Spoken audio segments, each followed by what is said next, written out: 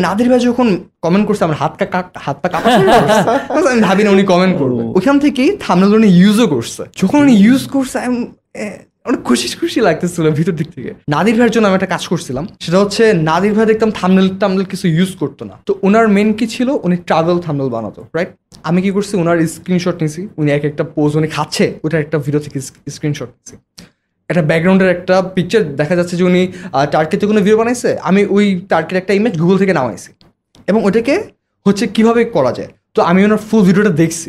তো উনি বলতেছে যে এই খাবার মজা, এটা ভালো, এই জায়গায় গেলে ভালো। তা আমি ওই ছোটো ছোটো জিনিসগুলোকে থামনেলে হচ্ছে টেক্স দিয়ে, ছোটো ছোটো টেক্স দিয়ে, তারপর হচ্ছে ইমোজি দিয়ে বোঝানোর ট্রাই করতেছি। এবং ওইটা আমি কি করি? নাদির ভাই একটা আলাদা গ্রুপ ছিল ওখানে আমি আপলোড করছি। আমি আশা করি না এটা নাদের ভাই দেখবে কজ তখন এগুলো ভাবতামও না। অ্যান্ড ওখানে নাদির ভাই দেখছ এটা। অ্যান্ড সবাই খুব বেশি অ্যাপ্রিসিয়েট করতেছে। মানে আমি ভাবিও না যে এরকম কিছু একটা হবে।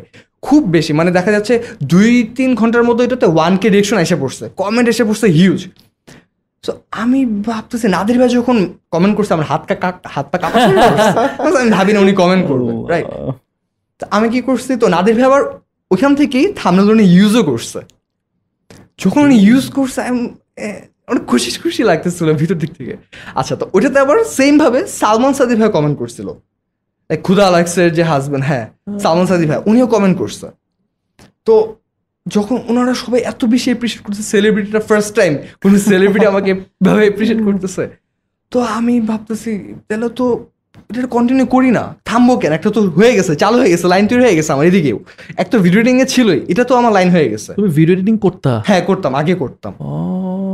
এটা হচ্ছে আগে বলতে যে ফোন দিয়ে করতাম। আমি তো তখন হচ্ছে ফোনের ভালোই ক্লায়েন্ট পাইছি তখন হচ্ছে টুকটাক ভিডিও এডিটিং করে দিতাম।